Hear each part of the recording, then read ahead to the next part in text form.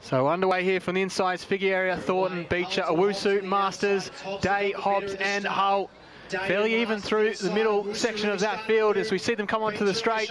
And it looks like Beecher having a brilliant rush. He's annihilated them off the bend. Owusu's fighting on, so is Masters and Day.